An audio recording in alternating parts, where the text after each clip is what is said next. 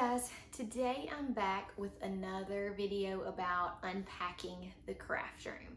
Today we're gonna look at liquids and stamp pads. So I packed a lot of different liquids, I did a few different things with them, and we're gonna see how those did. I will tell you which one of those went on my truck and so they were in the heat and stayed on the heat for like 48 hours versus ones that I brought with me in my car and um, if there was any difference in those two things. So if you have not checked out my other videos, make sure you do that. We got lots of um, packing up the craft room, lots of unpacking the craft room. Soon there will be another craft room tour, um, but make sure you hit the subscribe button, notifications, and the like button. That all helps me a whole lot and it will help you get notified when I do more videos about the craft room or just any of the card making videos. So I appreciate your support on all that so much.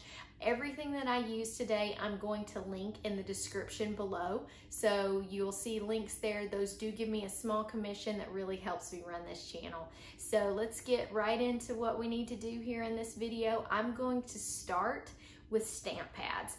So I packed the ink pads in a couple of different ways. I did some in a homemade Ziploc bag and just stacking them on top of each other. So it looked like this, you can see. I closed it really well. I made sure that I took up any extra space with some plastic bags.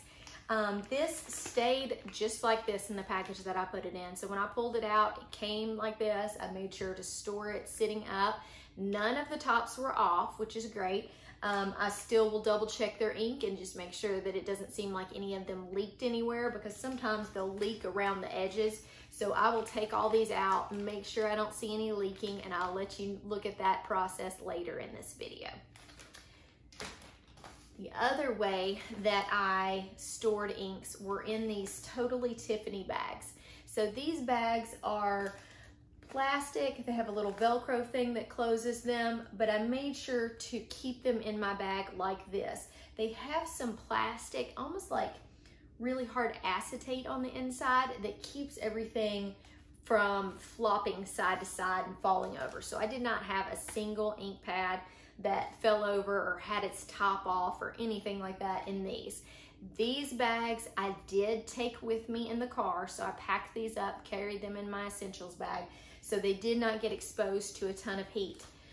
But this other bag, I actually sent in a package, so in a big box with some other things. And I did that because I kind of wanted to see if we had any trouble. I figure these inks get mailed to us in heat and, you know, go through that. So I figured they would be okay but I just wanted to check it a couple of different ways so that you would know if you needed to take your ink pads with you.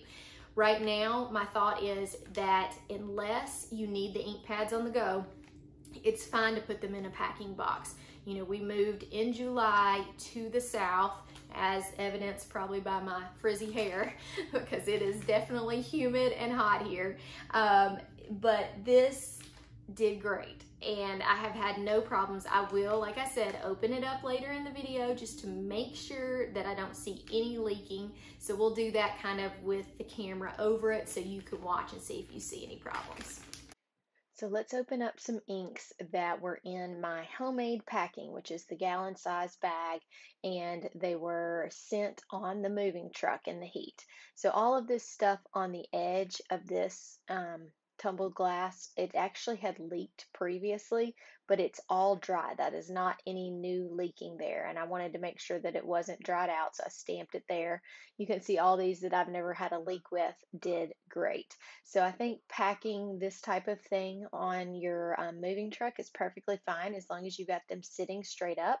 The only time I've had a leak in one of these is if it was laying sideways. So that um, tumbled glass that leaked, I actually had it sitting sideways for a little while. And so it leaked previously. That's why it's got all that staining around it. Next, let's look at how I did the liquid sprays. So I have Dylusion inks, I have Distress Oxide inks that are sprays, lots of different options. With the Dylusions and the Distress Oxides, this is how I pack them. I put them in a quart-sized Ziploc freezer bag. I added a paper towel and I put them on the moving truck. So in the heat over 100 degrees, I figured that I would try it this way because these get mailed to us and I know they go on moving trucks.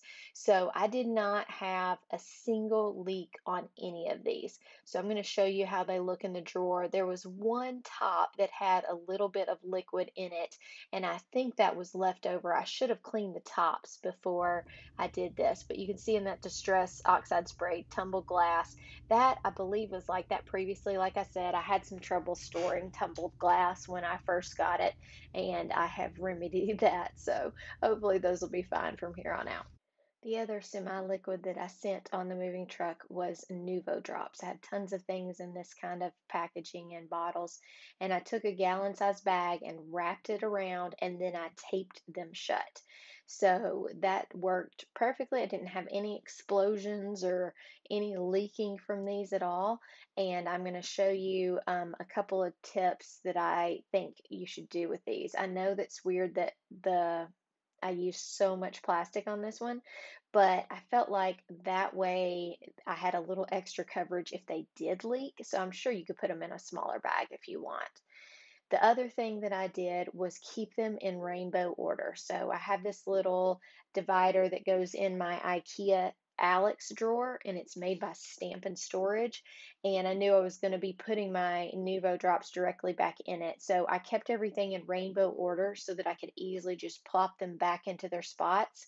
If I had it to do over again, I would make sure to do this with everything that I'm using. I have set up my scrapbook room in mostly rainbow colors, especially when I have multiple products that are different colors like stamp pads or inks, anything like that.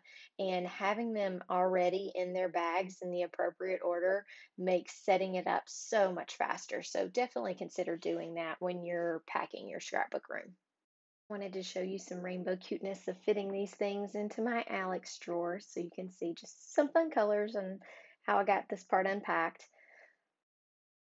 Hey guys, thanks for sticking to the end of the video here. That really makes me happy that you would spend your time with me today and I hope that you got something valuable out of this video.